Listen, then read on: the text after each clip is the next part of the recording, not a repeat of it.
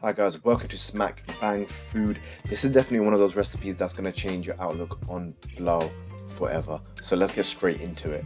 We're first going to start off by cooking our broth. And to do this, we're going to put in four and a half cups of water into a big pan. This is followed by three red chilies, three green chilies, three tomatoes, six cloves of garlic, followed by one chicken stock cube, a small piece of ginger. We're now going to add in one bay leaf, some black cardamom, two cinnamon sticks, and some black pepper. The quantities of those are, of course, in the description, so no need to panic, they're all there. This is then followed by four green cardamoms, into a small blender, we are now going to add half a tablespoon of coriander seeds and half a tablespoon of some fennel seeds. Once we have blitzed that up, we are now going to add that into our broth, followed by half a teaspoon of some star spice powder. We've used 2 kg worth of chicken breast and leg. Again, you can try this with other pieces of chicken. We're now going to drain 4 cups of rice. Then in a separate bowl, we're going to add 4 tablespoons of Greek yogurt, followed by 1 teaspoon of ginger and garlic paste.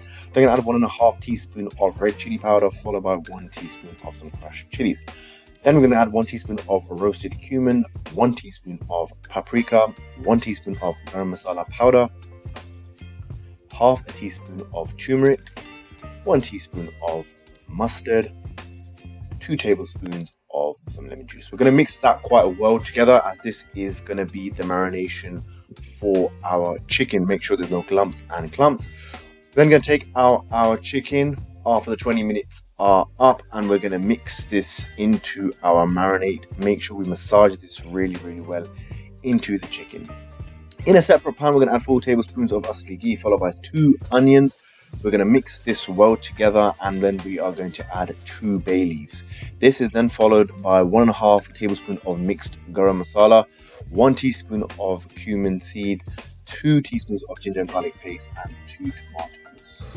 We've also added in some salt. Now we're going to add in two green chilies, followed by one teaspoon of some crushed chili. Then we're going to add in one teaspoon of paprika, 1 teaspoon of garam masala. We're now going to add in 4 tablespoons of some normal yogurt. Now going to bring this all together and then add in half a teaspoon of some nutmeg. Now I'm going to add in 4 cups of uncooked rice that we did prep earlier.